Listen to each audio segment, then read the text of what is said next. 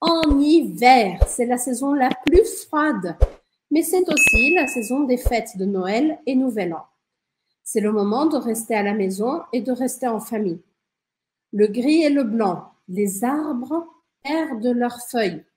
Il y a parfois de la neige et moins de gens dans les rues. Il faut se réchauffer. La nourriture devient plus riche et chaude. Les soupes, le fromage, les épices et les boissons chaudes. Les activités sont surtout à l'intérieur, mais on peut aussi faire du ski, de la luge e d'autres activités sportives. Então, o inverno na França é o momento em que os dias serão mais curtos. Tem gente que sonha em ir para a França para ver a neve, por exemplo. É muito legal, mas se é a sua primeira vez na França, e se para você é um esforço muito grande, eu não recomendo, porque os dias são mais curtos, você vai ficar com mais frio. Quem é brasileiro não tem roupa preparada para esse frio, apesar de eu te mostrar já já quais são as roupas é, que eu recomendo, e que na verdade você vai ter que usar, né? Mas ainda assim você vai ter um gasto maior com roupa, com comida, etc. É, se eu pudesse te indicar, te recomendar, eu recomendaria primavera e verão como melhores épocas do ano para ir, tá bom? Bom, é, como eu disse também, então as cores mudam, as árvores perdem suas folhas, les arbres perdent leurs feuilles, il fait froid, a gente já viu a expressão para falar isso, né? Tipo, tá muito gelado. A gente fala sacaia, e aí a gente pode falar il neige, estiver nevando, a gente vai usar a expressão il neige, de novo com il, il neige. Atividades mais internas, só as atividades mais esportivas fora, né? On mange quoi en hiver? Que tipo de coisa a gente come no inverno? Le fromage, bastante queijo, apesar de que a gente come queijo o ano todo na França, mas é o momento de você aumentar um pouco o consumo de gordura, né? Queijos, fondue, que na verdade é, é suíça, mas dá para você comer na França, em qualquer região também. Coisas mais quentes, les soupes, etc. Les fruits, nous avons les kiwis, les mandarines et les poires.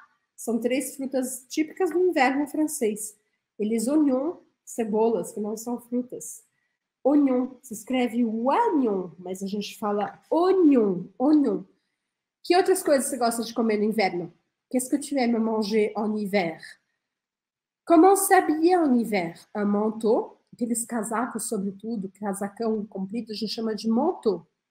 Des bottes, aqui a, a gente aumenta as botas maiores.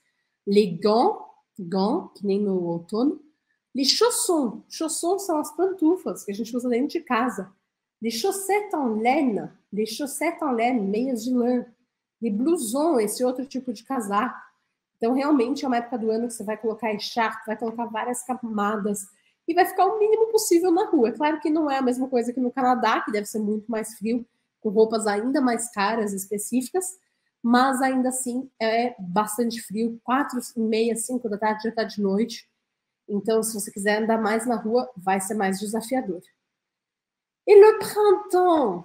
Eu não gosto tanto do inverno, não. Apesar de gostar da França, no inverno é bonito, etc. Né? Acho que assim, a vantagem, antes de eu passar para a primavera, a vantagem, ce les fêtes de fin d'année. São as festas de fim de ano, Natal, Ano Novo. Natal em francês a gente fala Noël. Aliás, em breve a gente vai ter uma aula especial de Natal, Noël. E Ano Novo a gente fala Nouvel An, Nouvel An. Então, essas são coisas bem legais. Se por acaso você vai para a França nessa época, é, não deixe de conhecer les marchés de Noël. Deixa eu escrever também. Les marchés de Noël. Eu nunca fui, mas dizem que é imperdível essa feira de Natal da região de Strasbourg, de Colmar, que são cidades é, perto da Alemanha, na França na França, mais perto da Alemanha, muito lindas, e aí tem essa tradição muito forte de marché de Noël. Le vin chaud, aí no Natal se comem outras coisas, mas eu vou deixar isso para um episódio especial de Natal para você. E aí, então, tem essa característica que é muito bonita, por exemplo, tem as vitrines de Natal é, decoradas, as luzes de Natal, é bem mágico mesmo. Mas ainda assim, se você está indo pela primeira vez para a França, não é a, o momento do ano que eu mais recomendo, d'accord? Et le printemps.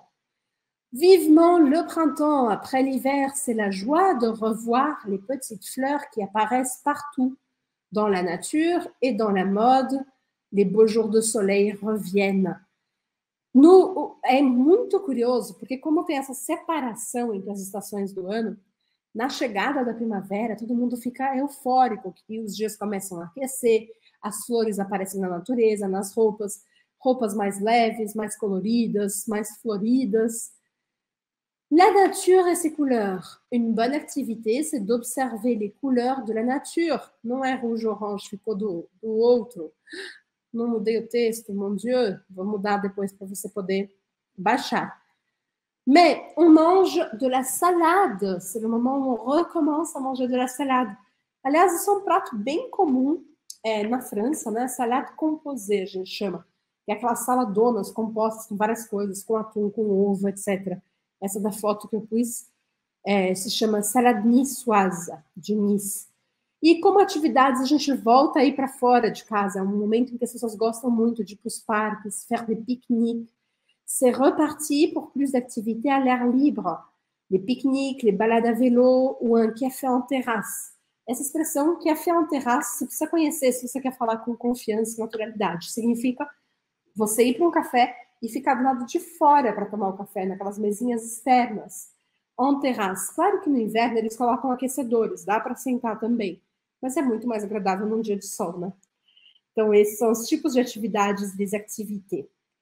Qu'est-ce qu'on mange en printemps? De la roquette. Roquette é o equivalente da rúcula aqui no Brasil, mas o sabor dela é bem diferente.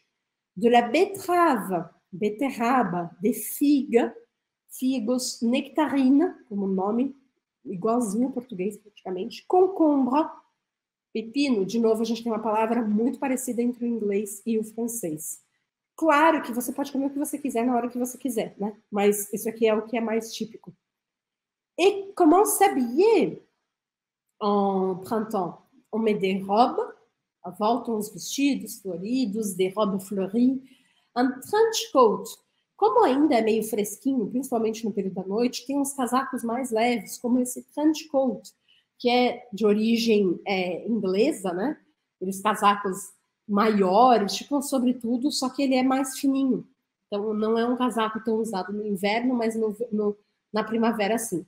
Une veste en jean, une veste jean, essas, essas jaquetas de jeans também, como faz mais fresquinho à noite, des baskets, des jupes, des débardeurs. Débardeurs são regatas.